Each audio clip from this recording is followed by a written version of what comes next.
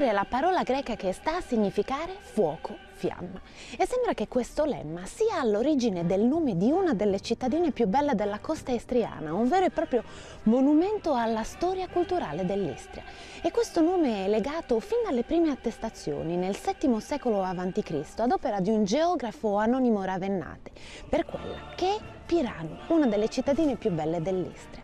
E questa parola è quanto mai indicata perché dove oggi sorge il Duomo di San Giorgio, un tempo venivano accesi fuochi che indicavano la via ai naviganti.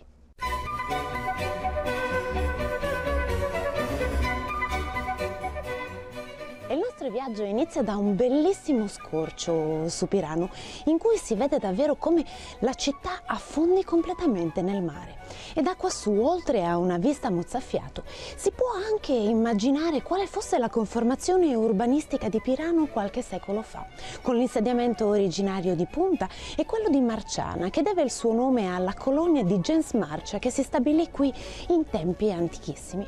E qui, chiudendo gli occhi, possiamo fare anche un altro pensiero e immaginare come doveva essere questa bellissima cittadina quando la famosa piazza Tartini doveva essere ancora un'insenatura di mare e lì ci fossero tantissime di quelle barche che solcavano i mari dell'Adriatico.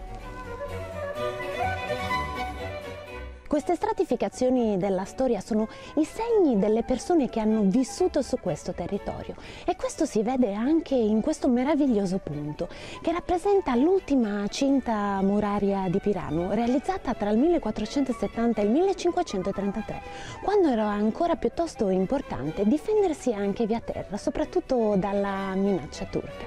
Il viaggio che faremo oggi con la nostra Arca dei Saperi sarà proprio cercare di andare alla scoperta di tutte quelle tracce tracce, tracce che hanno bisogno di custodi lungimiranti che se ne prendano cura per fare sì che arrivino alle generazioni future.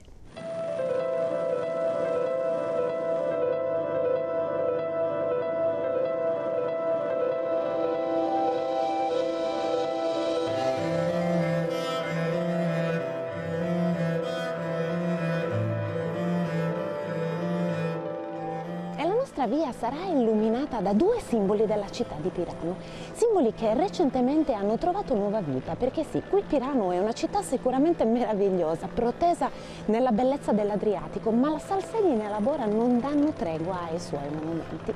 Protagonista della bellezza di vedere Pirano dal mare è l'Arcangelo Michele.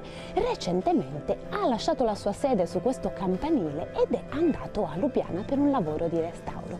Don Zorco, questo simbolo di Pirano ha dovuto subire un piccolo intervento di restauro. Ja, res je, v bistvu tudi, včasih tudi angeli rabijo pomoč.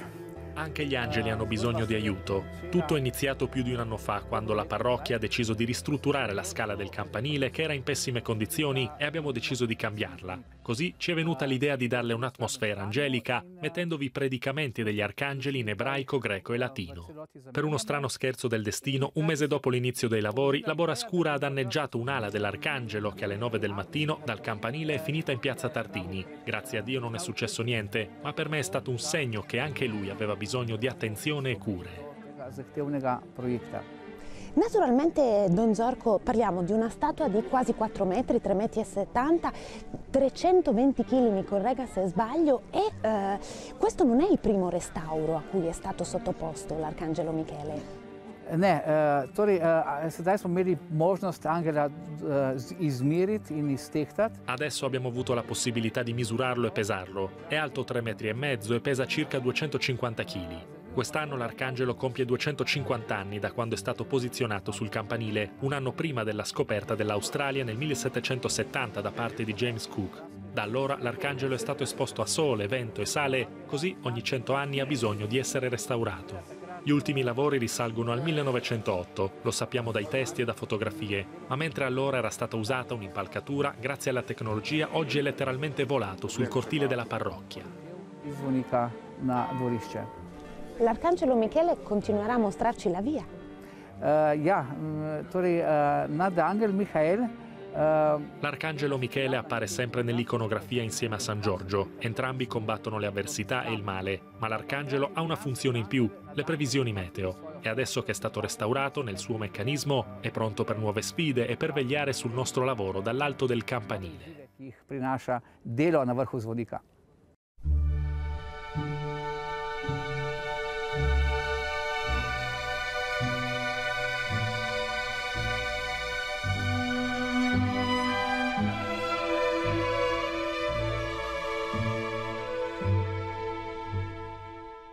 E se l'Arcangelo Michele dalla sua base rotante è in grado di definire le direzioni dei venti e in qualche modo completare quello che è stato l'ex voto per cui è stato realizzato il Duomo di San Giorgio, per cui San Giorgio ha protetto Pirano dalla tempesta, un altro simbolo importante di questa meravigliosa cittadina affacciata sul mare è il suo faro, il faro di Punta della Madonna che recentemente è stato recuperato dalla Cannes. Un compito importante quello di recuperare recuperare queste storie, Nadia Zigante? La scorsa estate abbiamo ricevuto in gestione per cinque anni il faro di Punta Madonna, è stata una sorpresa anche per noi, io personalmente guardavo sempre questo faro, una struttura bellissima ma era sempre chiusa. Allora abbiamo pensato ma perché non chiederlo al comune, perché non fare un progetto e, e vedere se ci andava in porto questo progetto. Beh, ce l'abbiamo fatta e ci è stato assegnato il faro e da agosto l'abbiamo aperto al pubblico. Questa struttura eh, si può dividere in due parti, c'è la cinta muraria, il bastione che è di origine veneziana, era una struttura difensiva, eh, è in pietra arenaria, si vede più scura, poi invece dopo nella seconda metà dell'Ottocento, è stato in periodo austriaco, è stato costruito il faro in pietra bianca di Istria, è una bella struttura solida e dove si trova anche l'appartamento del guardiano del faro. Noi ci riteniamo i custodi di, di, questo patrimonio perché basta guardare qua attorno, tutto parla di Venezia, di italianità e abbiamo deciso che questo era anche il nostro compito perché forse siamo quelli più adatti a prenderci cura del nostro patrimonio.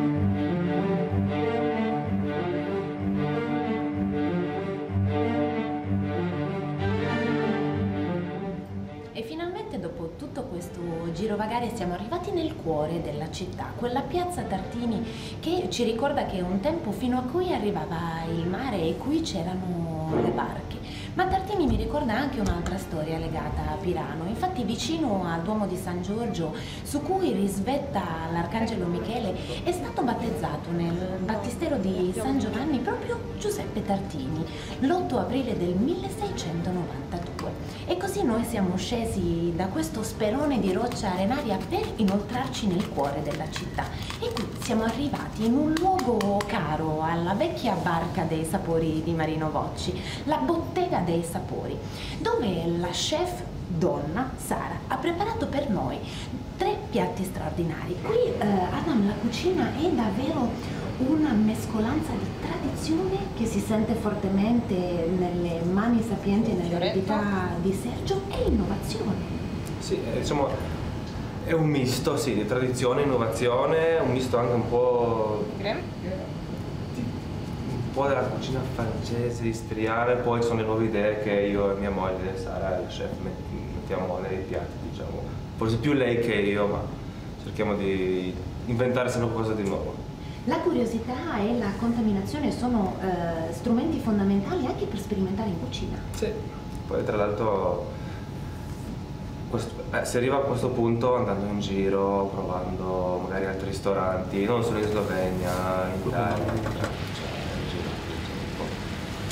contaminazioni che ci permettono di tornare ad essere grandi custodi del territorio. Oggi abbiamo cercato di raccontarvi storie legate alla Sallinarola dell'Istra, questa straordinaria città affacciata sull'Adriatico che in ogni suo angolo, in ogni sua porta, in ogni sua pietra ci racconta grandissime storie legate al passato. Ma è importante guardare con lungimiranza al futuro, come fanno Sara ed Adam, rimanendo ben ancorati alla nostra straordinaria terra rossa istriana che offre dei prodotti fantastici che possiamo gustare anche a tavola.